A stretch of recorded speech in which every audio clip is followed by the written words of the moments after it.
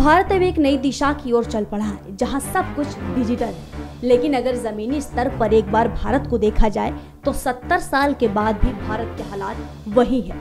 क्योंकि दुनिया में एक तरफ़ जहाँ भुखमरी बढ़ रही है तो वहीं दूसरी तरफ़ भूखे लोगों की करीब 23 फ़ीसदी आबादी भारत में रहती है। और इस आंकड़े से साफ़ पता चल रहा है कि भारत सिर्फ़ इकलौता देश है जहाँ 23 फ़ीसदी लोग भुखमरी के शिकार होते हैं। आपको बता दें भूमंडीय भुखमरी पर यूएन की एक रिपोर्ट में यह बताया गया है कि साल 2030 तक भुखमरी मिटाने का अंतर्राष्ट्रीय लक्ष्य भी खतरे में पड़ जाएगा।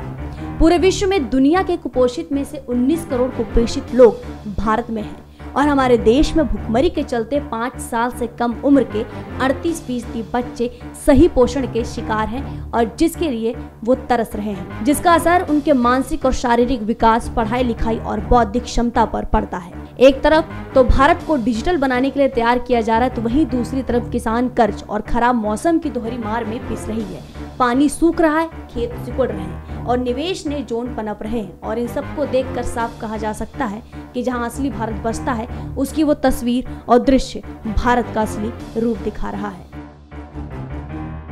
एसपी नाइन न्यूज़ रूम की रिपोर्ट।